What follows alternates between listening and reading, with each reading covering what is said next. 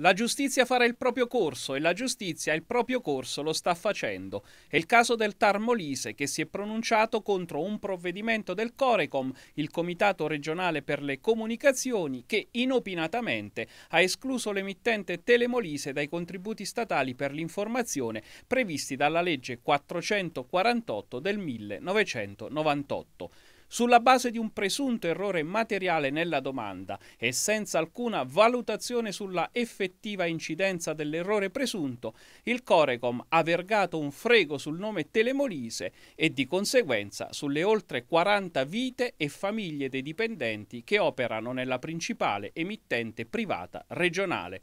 A curare il ricorso sono stati gli avvocati Massimo Romano e Giuseppe Ruta. Il Tarmolise ha accolto integralmente la tesi difensiva di Telemolise e ha eh, per l'appunto accolto la sospensiva e ordinato al Corecom di riesaminare il punteggio e la graduatoria. In sostanza si era verificato che il Corecom aveva escluso Telemolise dalla, dai benefici finanziari, quindi dai contributi pubblici della legge statale, la legge 448, rilevando un errore nella domanda di eh, presentazione relativa ad un dipendente su oltre 40 eh,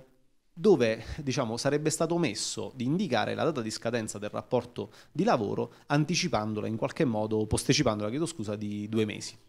Eh, rilevato l'errore, eh, era stata la stessa emittente a comunicarlo al Comitato per le Comunicazioni, che per l'appunto si preoccupa di redigere l'istruttoria, comunicando che si trattava di un errore che non avrebbe determinato alcunché, cioè non avrebbe inciso sul punteggio conseguibile e quindi non avrebbe inciso sulla graduatoria.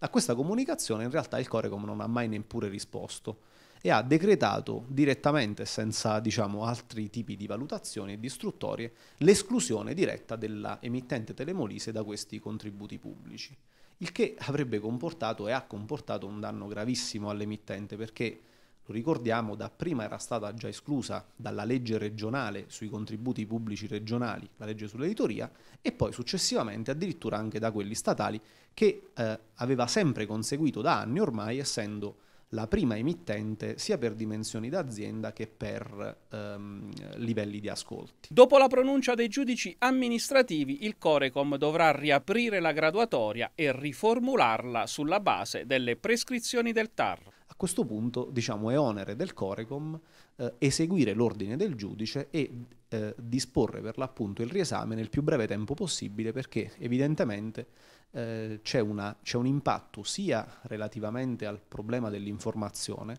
ma anche una rilevanza grandissima su livelli occupazionali della stessa azienda. Come per il mugnaio di Potsdam, alla fine c'è sempre un giudice a Berlino in cui confidare. Senza andare lontani, questo finalmente è anche il caso del Molise.